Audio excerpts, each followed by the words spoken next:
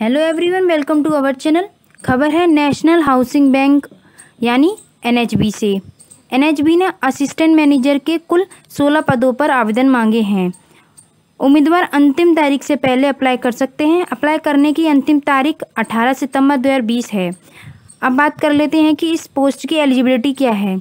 इस पोस्ट के लिए उम्मीदवार को किसी मान्यता प्राप्त विश्वविद्यालय से किसी भी विषय में न्यूनतम 60 परसेंट अंकों के साथ ग्रेजुएट डिग्री होनी चाहिए या किसी भी विषय में न्यूनतम पचपन परसेंट अंकों के साथ मास्टर डिग्री या केंद्र सरकार द्वारा मान्यता प्राप्त कोई भी समकक्ष योग्यता चार्टेड अकाउंटेंट या आई सी डब्ल्यू ए आई या सी एस की योग्यता रखने वाले उम्मीदवार भी आवेदन कर सकते हैं। अब हम देख लेते हैं कि इस पोस्ट की एज लिमिट क्या है। उम्मीदवार की आयु 21 वर्ष से 30 वर्ष होनी चाहिए, यानी मिनिमम एज 21 और मैक्सिमम एज 30 वर्ष होनी चाहिए। आरक्षित उम्मीदवारों को नियम के अनुसार एज में छूट मिलेगी।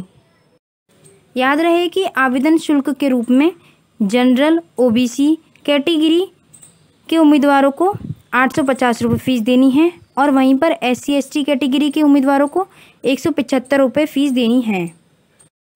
अब जान लेते हैं कि इन पदों के लिए उम्मीदवारों का चयन कैसे होगा। इन पदों के लिए चयन दो स्तरीय प्रक्रियाओं में होगा।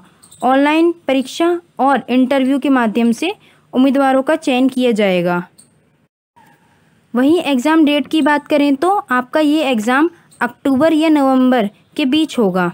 अप्लाई करने के लिए आपको ऑफिशियल वेबसाइट का लिंक डिस्क्रिप्शन बॉक्स में मिल जाएगा और NHB द्वारा जारी नोटिफिकेशन का भी लिंक आपको डिस्क्रिप्शन बॉक्स में मिल जाएगा। तो ये खबर थी एनएचबी से।